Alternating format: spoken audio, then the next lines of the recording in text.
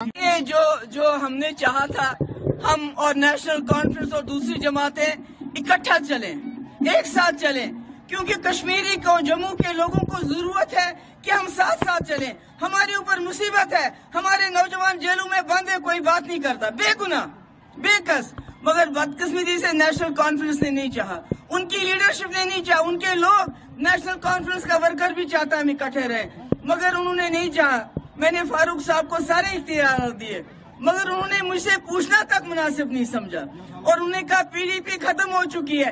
PDP कैसे खत्म होगी? पीडीपी ने टास्क फोर्स खत्म किया। पीडीपी ने कोटा खत्म किया। पीडीपी ने इखवान खत्म किया। पीडीपी ने तीन साल में रास्ते खोले डायलॉग का प्रोसेस शुरू किया।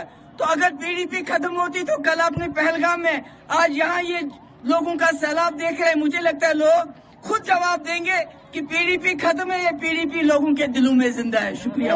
ये जो जो हमने चाहा था, हम और नेशनल कॉन्फ्रेंस और दूसरी जमातें इकट्ठा चलें, एक साथ चलें, क्योंकि कश्मीरी को, जम्मू के लोगों को ज़रूरत है कि हम साथ साथ चलें। हमारे ऊपर मुसीबत है, हमारे नौजवान जेलों में बंद है कोई बात नहीं करता। बेगुना बेकस, मगर बदकिस्मती से नेशनल कॉन्फ्रेंस ने नहीं चाहा। उनकी लीडरशिप ने नहीं चाहा, उनके लोग नेशनल कॉन्फ्रेंस का वर्कर भी चाहता हम इकट्ठे रहे। मगर उन्होंने नहीं चाहा। मैंने फारूक साहब को सारे इख्तियार दिए। मगर उन्होंने मुझसे पूछना तक मुनासिब नहीं समझा।